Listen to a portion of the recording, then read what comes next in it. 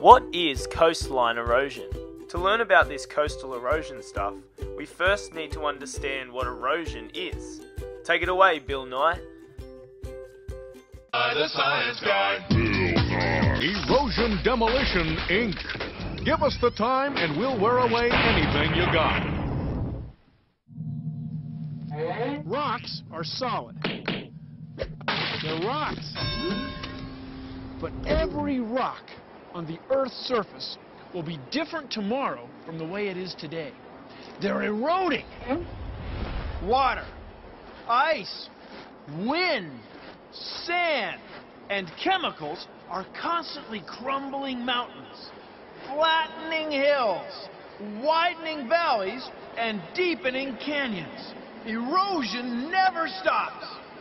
Never!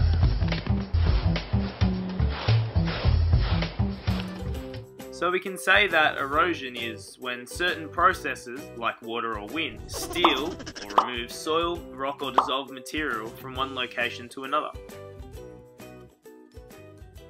So, what is coastal erosion?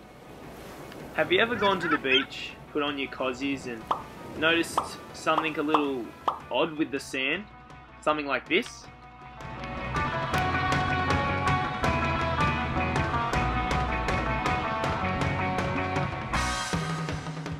Well, this is coastal erosion on a much smaller scale. Let's look at this deeper. Coastal erosion is the wearing away of land or sediment, beaches and dunes by the aggressive fist of wave action, tidal currents, and general punches and kicks from water.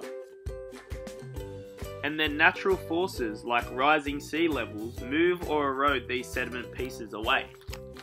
This can be particularly bad for those who live on the coastline, possibly destroying homes beyond repair.